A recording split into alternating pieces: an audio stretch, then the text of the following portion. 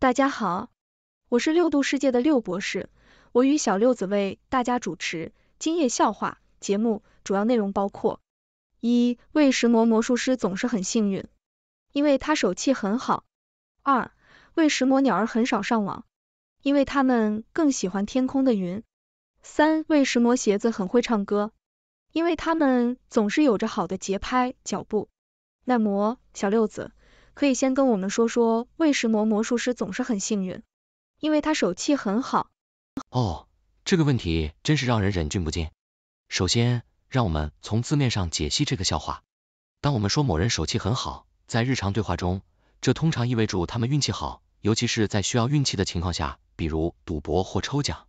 然而，对于魔术师来说，这句话有助双重含义。魔术师的表演往往依赖于手的灵巧和技巧。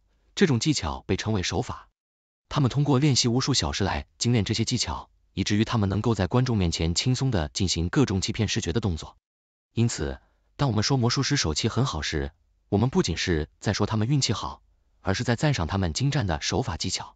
现在，让我们从一个更幽默的角度来看这个笑话。想象一下，一位魔术师走进赌场，他的手法如此高超，以至于无论他玩什么游戏，他似乎总是能够操控结果。当然，这只是一个幻想情景，因为真正的魔术师遵守职业道德，不会在赌场中使用他们的技巧来作弊。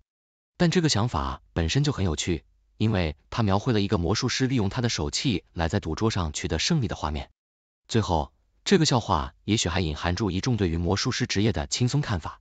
在现实生活中，魔术师可能不会比其他人更幸运，但他们的职业让他们看起来好像拥有控制命运的能力。这种对于控制和幸运的幻觉是魔术师艺术的核心，也是他们能够让我们相信不可思议之事发生的原因。总之，这个笑话不仅仅是一个简单的语言游戏，它还巧妙地揭示了魔术师技艺的本质，以及我们对于幸运这一概念的迷人想象。而魔术师凭借他们的手法和聪明才智，确实在某种意义上创造了自己的幸运。谢谢小六子的介绍，那再跟我们介绍一下，为什么鸟儿很少上网？因为他们更喜欢天空的云。各位亲爱的网友、学生们，今天我们来聊一聊一个非常严肃的问题：为什么鸟儿很少上网？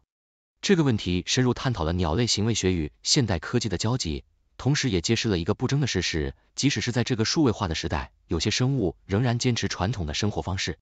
首先，我们的承认，鸟儿们对于云端技术的理解可能比我们想象的要深刻的多。当我们在谈论云端存储、云计算时，鸟儿们早已在天空中与云朵共舞，享受住真正的云生活。它们不需要 WiFi，因为它们已经拥有了最自由的飞翔网络——大自然。再者，鸟儿们对于社交网络的需求也与我们大不相同。它们不需要 Facebook 来更新动态，不需要 Twitter 来发表短讯，也不需要 Instagram 来分享美照。它们有自己的社交方式——鸣叫。这是一种古老而有效的通讯方式，可以跨越森林和平原，不受任何数据计划或讯号覆盖的限制。当然，鸟儿们也不太可能成为游戏或者网购的爱好者。他们对于 Angry Birds 可能会有些误解，认为这是一种对鸟类情绪的污名化。至于网购，他们更喜欢自己动手，无论是筑巢还是觅食，都是自给自足，不依赖任何快递服务。最后，我们不得不提到一个现实的技术问题：鸟儿们缺乏操作电子设备的必要器官。它们的翅膀和爪子并不适合敲打键盘或滑动触屏，这也是它们不上网的一个很实际的原因。总之，鸟儿们很少上网，是因为它们更喜欢天空的云。这不仅是一个生活选择，也是一种与生俱来的本能。它们在天空中翱翔，享受住自然的礼物。而我们或许也应该偶尔放下手中的智能设备，抬头望望天空，感受一下真正的云端生活。谢谢小六子的介绍。那再跟我们介绍一下，为什么鞋子很会唱歌？因为它们总是有着好的节拍脚步。好吧，亲爱的听众。让我们来探讨这个深奥而又诙谐的问题：为什么鞋子很会唱歌？因为它们总是有筑好的节拍脚步。首先，我们的承认，这是一个充满智慧的双关语。在这里，节拍一词既指音乐中的节奏，也指人行走时的步伐。而鞋子作为我们行走的忠实伙伴，自然是步伐的专家。他们在我们的脚下一步一步，节奏分明，就像是一位节奏感极佳的音乐家。但是，如果我们深入挖掘一下历史，我们会发现鞋子和音乐之间有着不可思议的联系。想想看，在古代的宫廷舞会上，精致的舞鞋在华丽的舞池上滑步，他们的每一次轻触地面都伴随住音乐的旋律，庞佛在无声中演奏住自己的乐章。再来，我们不得不提到那些著名的鞋子在流行文化中的地位。从经典的故事《灰姑娘》中的水晶鞋，到迈克尔·杰克逊在舞台上所穿的闪亮舞鞋，这些鞋子不仅仅是时尚的象征，他们也成为了音乐和舞蹈的同义词。当然，我们不能忽略那些在街头表演的踢踏舞者，他们的鞋底装有金属片，每一次踏地都发出清脆的声响，就像是一种特殊的打击乐器，用脚步创造出令人振奋的节奏。所以，当我们说鞋子很会唱歌时，我们不仅是在开一个玩笑。我们也在赞扬鞋子在人类文化中的多面性和它们与音乐的亲密的关系。鞋子，无论是在时尚秀上，还是在我们日常的脚步中，都在以他们独特的方式演绎住生活的节奏。所以，下次当你穿上你最喜欢的一双鞋，无论是高跟鞋、运动鞋，还是舒适的拖鞋，记得，你不仅是在走路，你也在创造音乐。每一步都是你自己的节拍，每一天都是你自己的歌曲。让我们用鞋子。为这个世界带来更多的节奏和乐趣吧。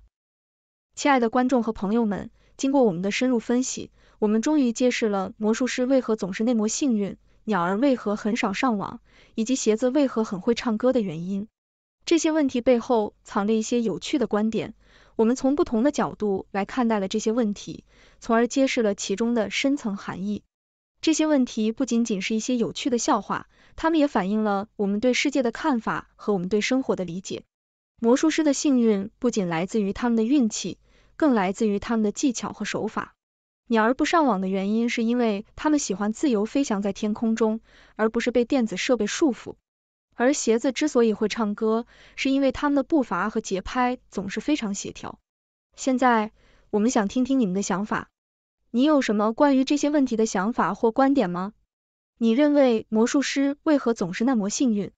你觉得鸟儿为何很少上网？你对于鞋子会唱歌这一观点有什么看法？请在下方留言，与我们分享你的想法和观点。让我们一起探索这些问题背后的奥秘，并一起享受这段有趣的讨论。谢谢大家的收看和参与，我是六度世界的六博士，我们下次再见。谢谢大家收看六度穿越系列节目，这个节目由媒体专业人士、科学家、工程技术人员编纂、设计、制作。